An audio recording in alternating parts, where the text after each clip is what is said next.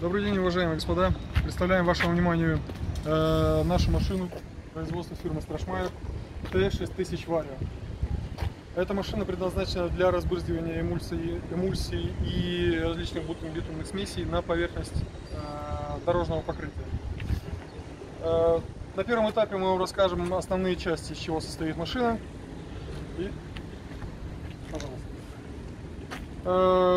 С этой стороны у замонтировано, замонтирован радиатор гидравлической системы, который включается автоматически.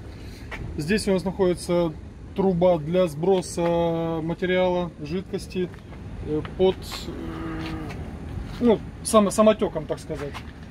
Здесь рядышком возле трубы находится клапан, через который самотеком выбрасывается, сбрасывается материал. Здесь у нас находятся две трубы для заправки и для сброса материала уже непосредственно через э, главный насос. А также э, ящик управления этим насосом. Влево у нас э, сброс, вправо загрузка, переключение, регуляция оборотов насоса и аварийное выключение насоса. Здесь нас находится моторный отсек, мы чуть позже о нем расскажем, там тоже много интересного. Здесь у нас идет секция э, пневмоклапанов, с помощью которых управляются разбрызгиватели главной, главной балки. Здесь у нас находится секция гидроклапанов, которые также управляют практически всеми органами машины. Внизу, обратите внимание, размещена сама балка с выдвижными двумя частями этой балки, э, правой и левой частью. Здесь находится основной орган электрического управления всей машины, э, в которой расположены э, контроллер, блоки питания, э, реле, ну и соединительные, части всей машины вместе с блоком, с блоком предохранителя. Здесь у нас размещен, размещен преобразователь Э, с, 20, с бортового питания на 230 вольт, который предназначен для работы горелки этой машины. С этой стороны немножко виден у нас открытый наш моторный отсек. Моторный отсек, как вы видите, старый добрый размещен мотор с э, фирмы Кубота, который вам достаточно уже известен, часто встречается в наших машинах. Движок, двигатель надежный, простой, дизельный, хорошо показал себя в работе.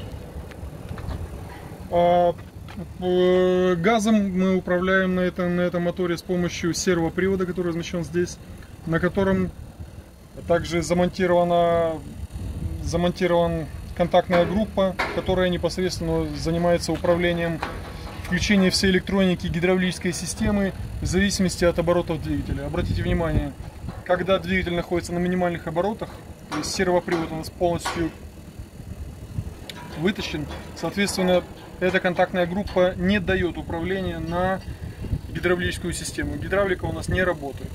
Машина с э, этой контактная группа выставляется специально у нас на заводе, регулируется. Ну и мы не рекомендуем ее больше двигать. А главный выключатель, забыл сказать, ну и фильтр топлива, который подается непосредственно в мотор.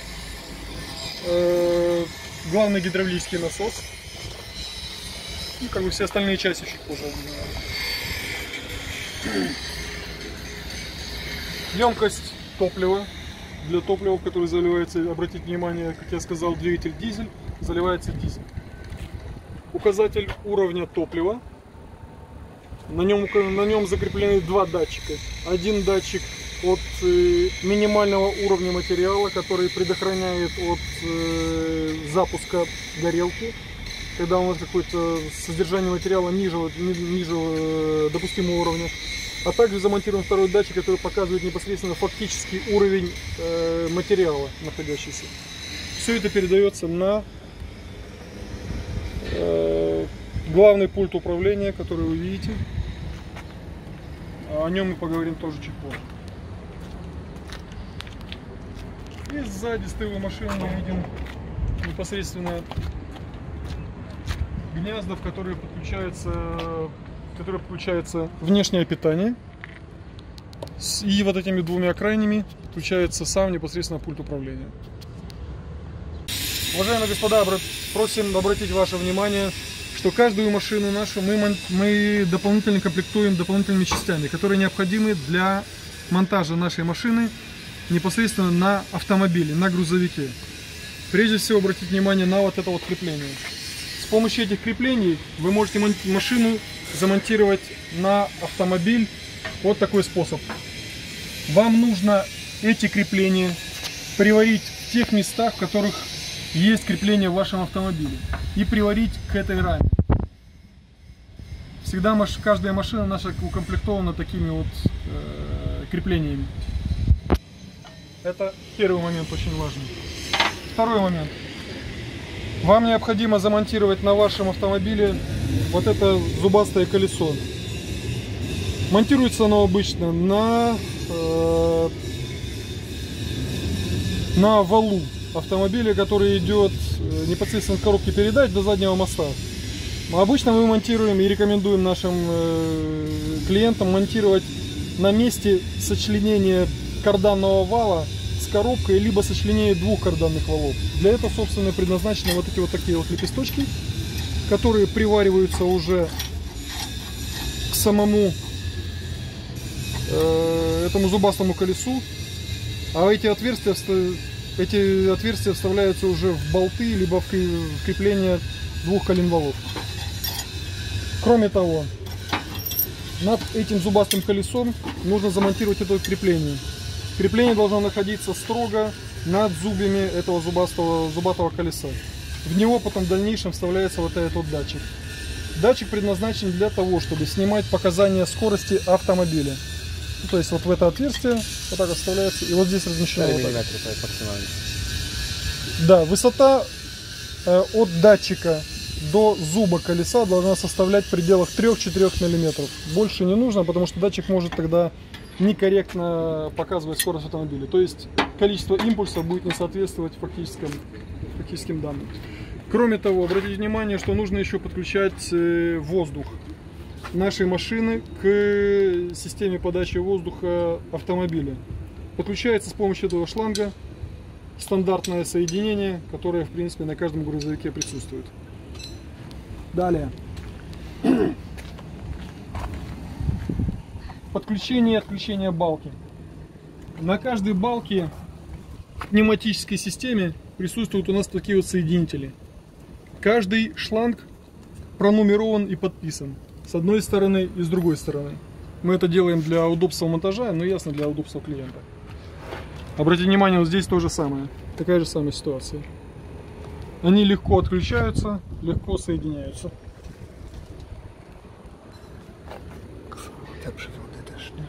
Угу. Кроме того, обратите внимание, что нужно еще обязательно следить за качеством соединения вот этих вот шлангов такие шланги, такой шланг находится с этой стороны, точно такой же и с другой стороны, с левой стороны. Потому что через эти шланги непосредственно подается уже сам материал. Также установлены специальные у нас краны, с помощью которых перекрывается подача материала этих шлангов. Кроме того, обратите внимание, что на балке размещены датчики. Датчики подключены проводами, которые, в принципе, через э, специальные соединения достаточно легко откручиваются и отключаются. Каждый датчик подписан, каждый провод к этому датчику тоже подписан.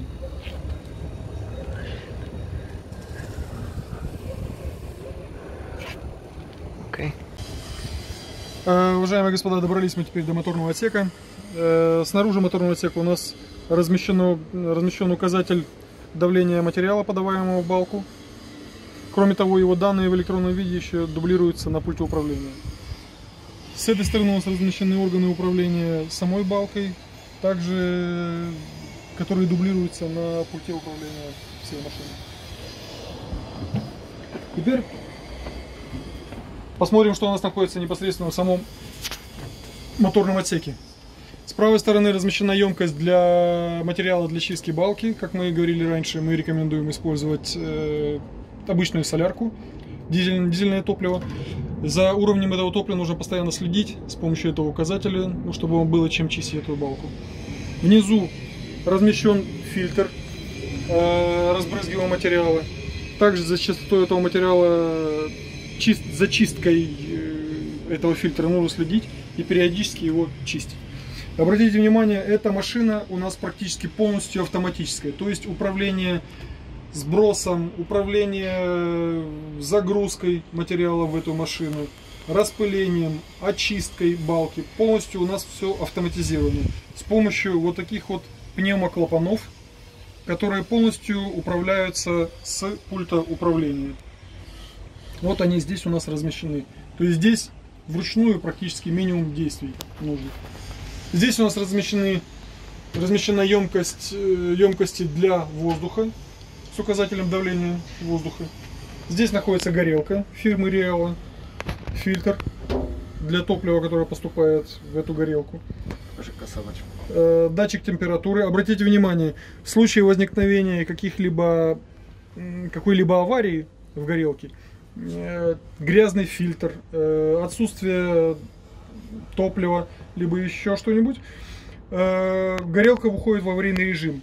Здесь указатель этого аварийного режима, загорается красная, красная лампочка. Это же, это же указатель является и кнопкой. То есть, чтобы сбросить аварийный, вывести из аварийного режима горелку, если, конечно, проблема убрана, то есть почистили фильтр или добавили топливо, либо еще что-нибудь, просто нужно нажать, подержать буквально 2-3 секунды кнопку и отпустить. После этого попробовать запустить заново горелку, тогда она будет работать. Далее. Здесь у нас размещен, размещен насос э, теплообменника. Непосредственно над насосом находится сам теплообменник. Теплообменник предназначен для обмена тепла между охлаждающей жидкостью гидравлической жидкостью, ну как в автомобилях, помогает одно другому. Наша машина снабжена э, главным насосом фирмы Вариска. Это зубчатый насос Кроме того, который еще подогревается вот, с помощью системы теплообмена, подогревается от тепла из гидравлической системы. А здесь находится гидроэлектроклапан фирмы Danfoss, который непосредственно управляет главным насосом, о котором я сказал. Тут непосредственно находится сам двигатель Кубота, о котором я тоже уже говорил. А, распределительная коробка электрическая. Обратите внимание, на коробке сбоку здесь размещен включатель э, освещения моторного отсека. Вот той лампочки. А, и последняя емкость для охлаждающей жидкости, емкость для гидравлической жидкости. Обе емкости снабжены как указателем температуры, так и указателем уровня жидкости. Тоже нужно периодически следить за наличием жидкости и уровнем. Уровень должен быть чуть выше среднего. Не до самого конца, не до самого нуля, чуть выше серединки. Как здесь, так и здесь. А на емкости с гидравликой размещен еще фильтр гидравлической жидкости, который периодически тоже нужно снимать и чистить. Снимая, чистится очень легко, откручивается колба. Здесь есть размер под ключ. Вытаскивается, вычищается, ставится новый картридж. Теперь мы дошли до пульта управления. Э, из чего состоит у нас пульт управления? Прежде всего из блока управления двигателем, в котором находит, на котором размещены прежде всего сам замок зажигания, запуск такой самый, как на всех автомобилях, промеж... нулевое положение, промежуточное положение и запуск стартера. Ничего нового. Три лампочки управления двигателем и сигнализации работы двигателем давление масла, заряд аккумулятора и свечи накала. Обратите внимание, перед запуском, всегда когда мы запускаем двигатель, первое, первым положением мы должны э, нагреть э, свечи накала в двигателе, потому что это дизельный двигатель. Пока лампа не погаснет, запуск не рекомендуется. Далее идет у нас э, счетчик моточасов самой машины, указатель температуры двигателя и джойстик управления оборотами двигателя. Вверх больше газ, вниз меньше газ. Увеличение газа, уменьшение газа. Далее. Э, работа с, э, работа с пульпитом начинается с включения питания. Это делается с помощью главного выключателя. Как он здесь подписан. На него подается питание. Чтобы уже включить всю систему, нужно дополнительно нажать кнопку напряжения управления. Тогда напряжение появляется во всех органах машины. Машина готова к работе в дальнейшем. Под кнопкой управления напряжения находится выключатель сигнальной лампы. Ну, то есть мигалки попросту. Аварийное выключение всей машины. А далее идет органы управления балкой. Выдвижение балки в левую сторону. Включение э, насоса теплообменника. Подъем балки. Начало распыления, старт распыления. Э, регулировка оборотов э, насоса эмульсии или насоса материала. Управление режимами работы, ручное либо автоматическое управление машиной. И выдвижение правой балки. Обратите внимание, наша машина снабжена дополнительными камерами, с помощью которых оператор, водитель-оператор может визуально контролировать, э, насколько расширена балка. Происходит это с помощью камер, которые у нас монтируются в этом месте. Сейчас машина приготовлена для транспортировки, поэтому мы для транспортировки монтируем камеру пока внутри. На самом деле она, они монтируются снаружи.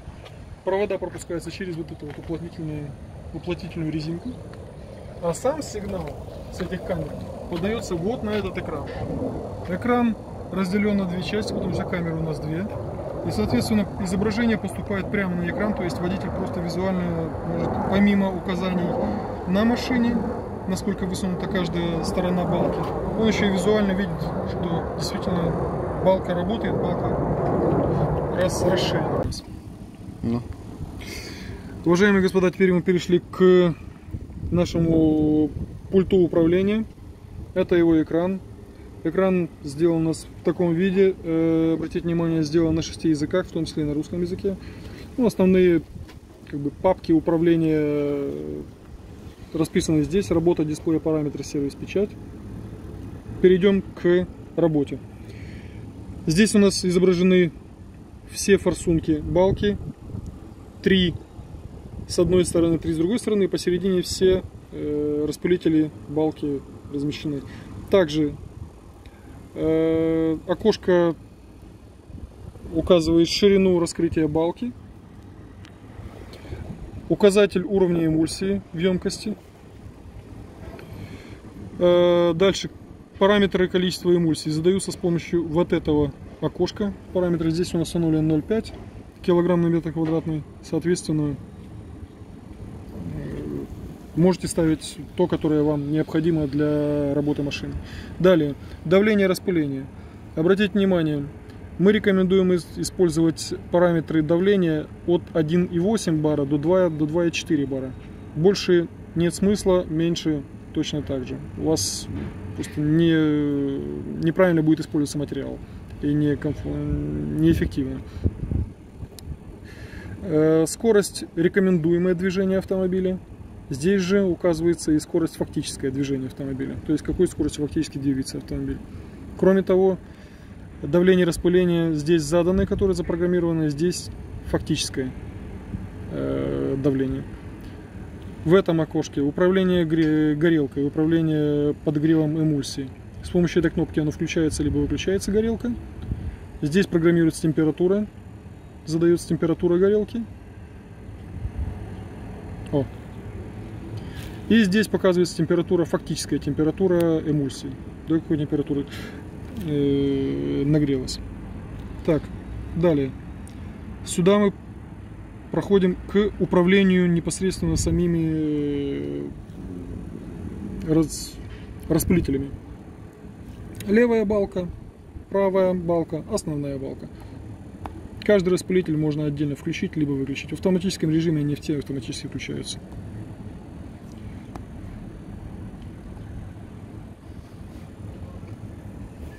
Распыления. Так, автоматика клапанов. Э, обратите внимание, машина, как я и говорил раньше, у нас работает в двух режимах. В автоматическом режиме и в ручном режиме. Переключение режимов происходит с помощью вот этого выключателя.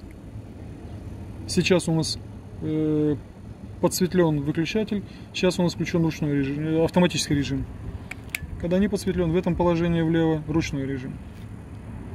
Начнем с автоматического режима. В автоматическом режиме у нас э, при запуске машины сперва нужно сделать циркуляцию э, эмульсии. Сперва мы делаем малую циркуляцию с помощью этой кнопки. Вы слышали, что включилась циркуляция с помощью пневмоклапанов. Либо выключается.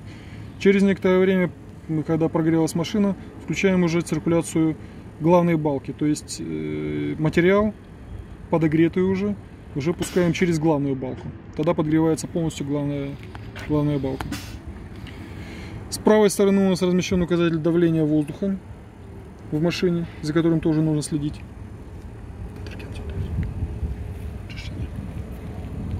А здесь, здесь у нас размещена кнопка э, управления чисткой главной балки.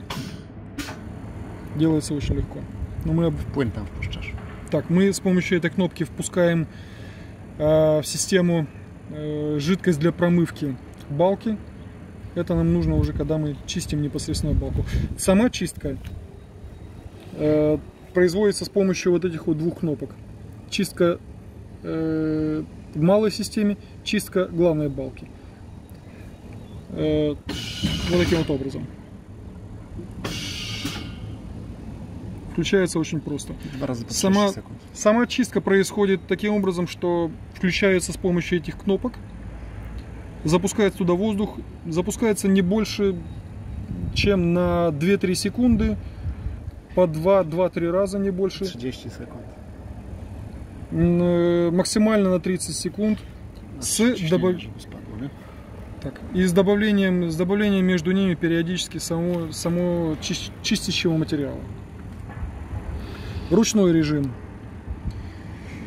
Э, как вы видите, система распыления. А, переключаемся в ручной режим. Система распыления. Очистка распылителя. Э, зап- Tankowanie. Заправка, кнопка заправка. Как я говорил раньше, это с э, правой стороны от машины две трубы, с помощью которых заправляется либо э, очищается машина через э, с помощью компрессора. Вот управление этим компрессором происходит с помощью этих кнопок. Заправка, кроме того, чистка с воздухом и сброс, также чисто с воздух- чистка с воздухом. С правой стороны находятся две очень важные кнопки, обратите на них внимание. Аварийная чистка главной балки. В случае, если балка ваша забилась или разбрызгиватели забиты материалом, с помощью вот этой кнопки делается чистка всей, всей главной, главной э, балки. Вот таким вот образом.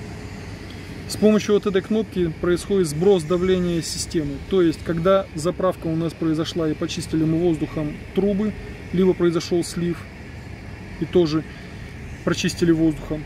Остаточное давление воздуха может находиться в этих, в этих трубах. И вот сброс давления в системе происходит с помощью вот этой кнопки.